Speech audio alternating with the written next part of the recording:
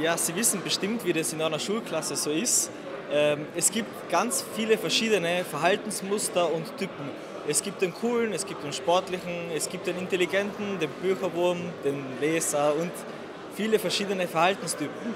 Und so ist es eigentlich auch in der Politik. Und die Christine versucht das unter einem Dach zu bringen. Und deswegen will ich die Christine, weil sie versucht, so breit wie möglich die Interessen vom Volk oder von der Stadt Innsbruck unter einem Dach zu bringen.